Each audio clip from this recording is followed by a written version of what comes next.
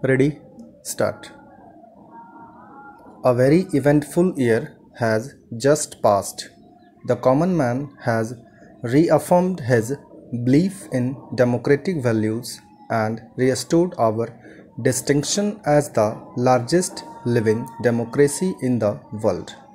On this occasion, each one of us has to ask ourselves in all humility whether we have followed the inspiring example set by the leaders of this ancient land. Have we comprehended the new national ethos and adequately responded to it? In this context, it is disappointing that the professional classes as well as business and industry have not shown sufficient evidence of their being prepared to accept their share of national responsibility. The future is unfolding itself. What are our immediate preoccupations and aspirations for the future? The coming elections to the state assemblies afford an occasion for all political parties to prove their dedication to democracy and cleanliness in public life. What is important is not the result but how it is achieved. The campaign must be conducted with dignity only on the basis of clear cut programs and policies. Once again, our voters will have the option of choosing not their masters but their servants. We must, in the past, prove ourselves a mature people pleased to the processes of democracy and the democratic way of life. Our people should be enabled to exercise their franchise without fear or hindrance. My government will guarantee this the basic birth right of every eligible voter. Let the free will of the people prevail and all will be well.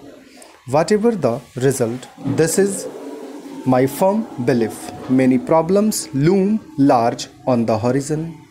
We must face them with courage and self confidence. Some frustrated and desperate elements in our society today are determined to scuttle the principles of our democratic way of life and destroy the very fabric of our secular society. While everyone of us is entitled to freedom of expression in appropriate forums, no one should be permitted to drag each and every issue to the streets, excite dormant passions, advocate disrespect for law and order, and incite violence.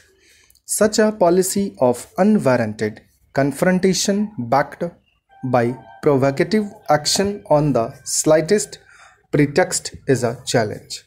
We as citizens of a free country need to face with determination. Let not a few misguided and disgruntled sections of society imagine that they can hold the rest of us, the law abiding citizen, to ransom. This will not be allowed. The post-emergency climate has been congenial for reconciling fundamental freedoms and open society with egalitarianism and social justice. This is the first Republic Day with which my 10-month-old government is associated. Let us not judge them harshly. Stop.